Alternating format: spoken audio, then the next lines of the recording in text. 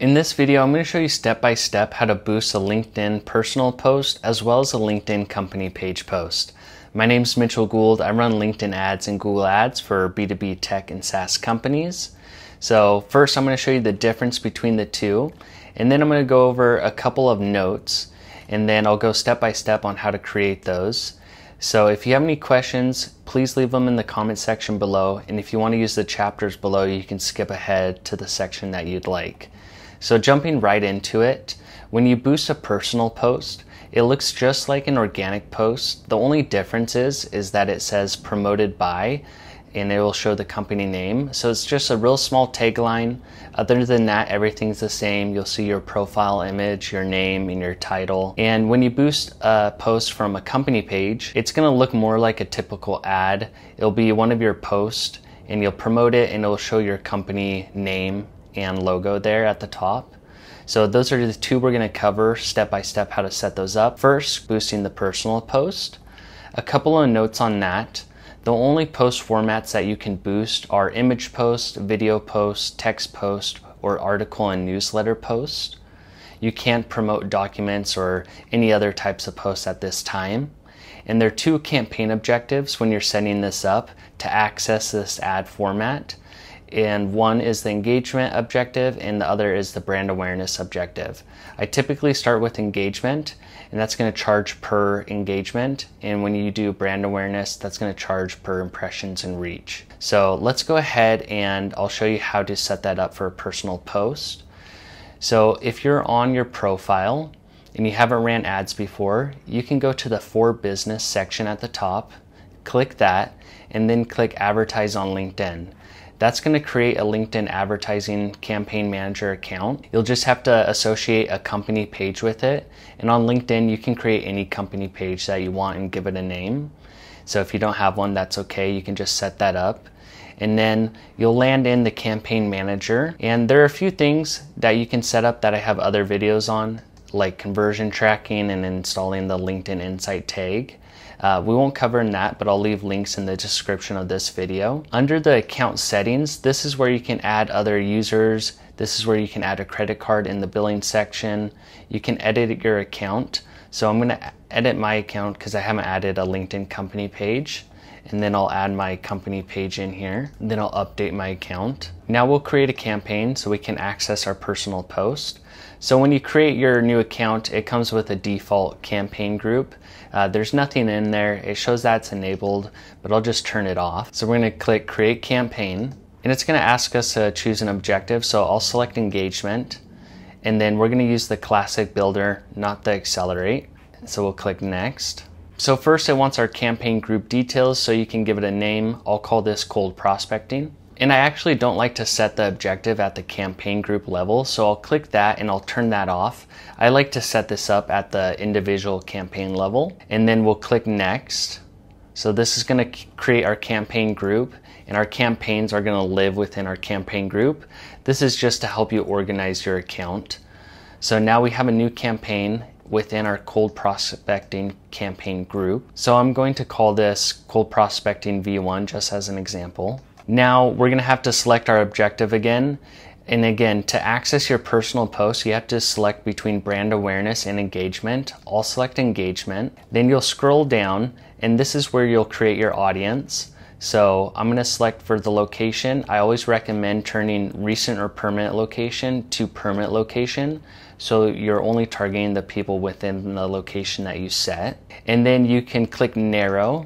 And this is where you can select different attributes. So you can upload a company list or a contact list. If you already have retargeting set up, you can select your retargeting audiences. To use LinkedIn's native attributes, you go into the audience attributes, and this is where you can select different company attributes, different job experience attributes like job titles. So I won't go into all the details here, but I do have other videos on this that I'll put in the description. So you'll set up your audience. Then you want to make sure to turn off enable audience expansion. That will allow LinkedIn to expand your audience beyond the attributes that you set. So we'll keep that off. And now we'll select the ad format.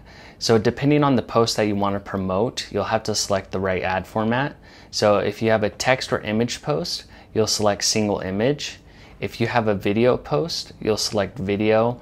And if you have an article or newsletter post, you'll select article or newsletter. In this example, I'm gonna promote a text post. So I'm gonna select single image here. We're gonna skip URL tracking parameters. I also have a video on that that I'll put in the description. That is optional.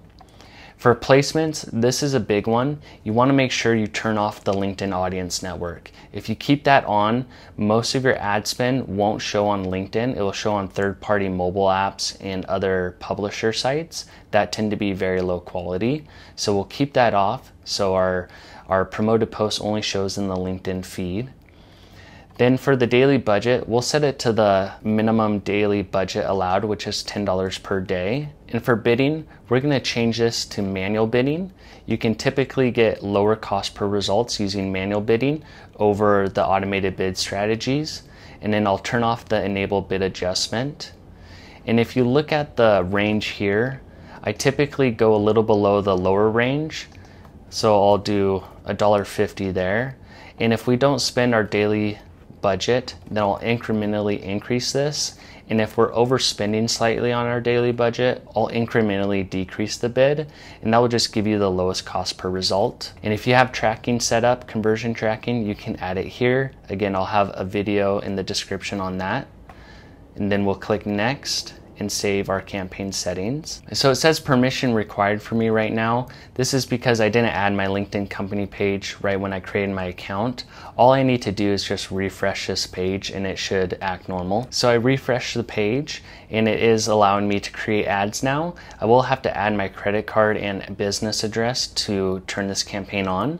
But for now, this is where you're gonna select your personal post. So instead of creating a new ad, you're gonna click Browse Existing Content, and then you're gonna go to LinkedIn Members, and this is where you can search your name or get the LinkedIn post URL from your post.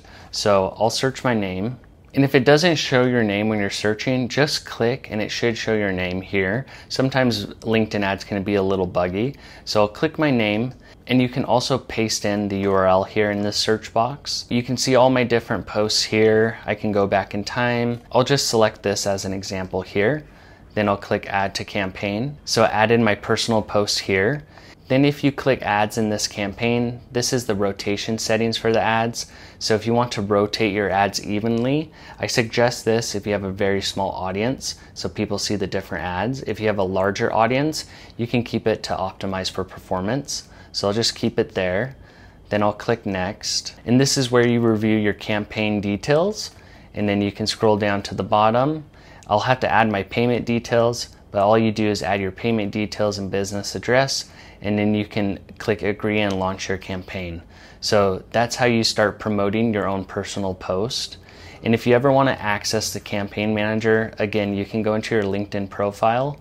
You can click the advertise button or click for business and click advertise on LinkedIn. That will pull up your campaign manager account. And if you click advertise, you'll be able to see the campaign group and you can also go into the campaigns and ads tab to see the campaigns that you're running.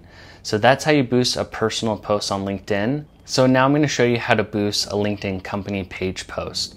So the available company page post formats that you can boost are image, video, text, documents, article, and newsletter.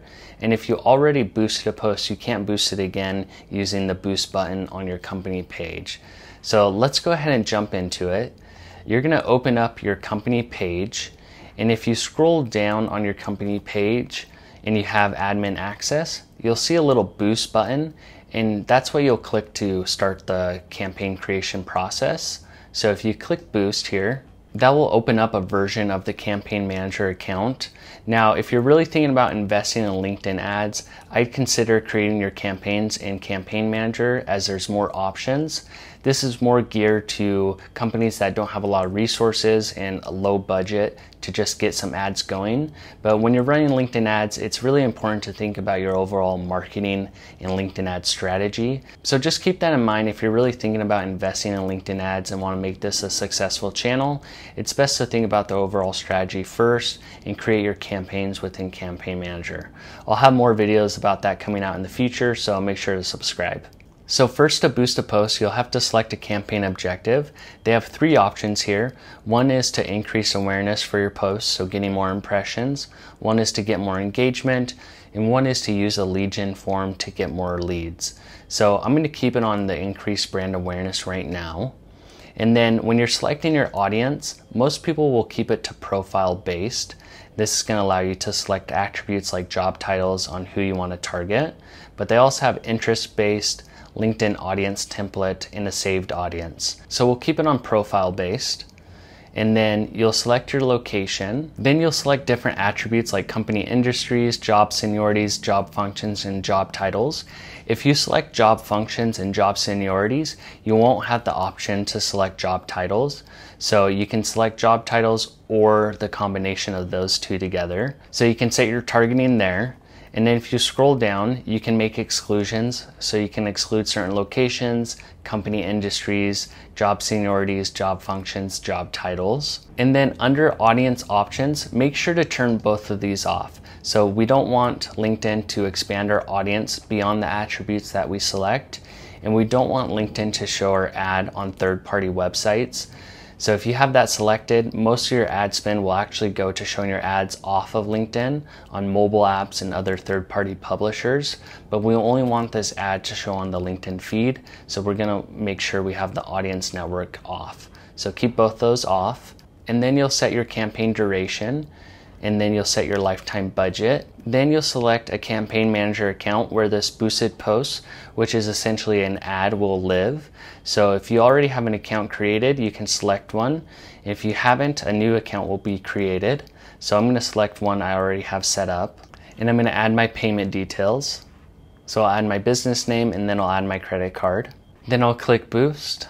So now our ad is being boosted and we'll click manage and review ad and that's going to open up the LinkedIn Ads Campaign Manager account and you can see the campaign here and it's active and it's running. I'm going to turn this off right now just because this is an example.